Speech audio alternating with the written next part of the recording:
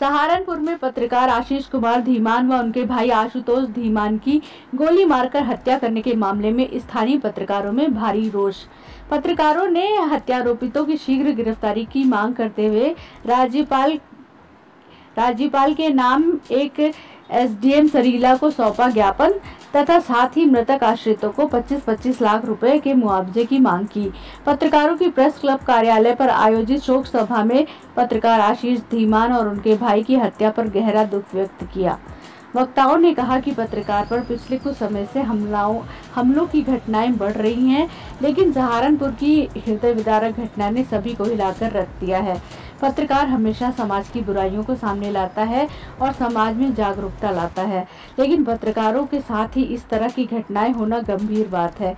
ज्ञापन में मांग की हत्यारोपितों को शीघ्र गिरफ़्तार किया जाए और मृतक आश्रितों को 25-25 लाख रुपए का मुआवजा दिया जाए।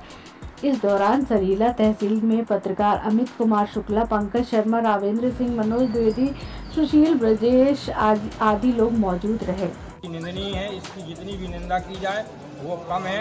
इसलिए मैं माननीय मुख्यमंत्री महोदय से आग्रह करता हूँ, निवेदन करता हूँ, मांग करता हूँ माननीय जिलाधिकारी महोदय के माध्यम से कि हथियारों के साथ बहुत ही कठोर कार्रवाई की जाए।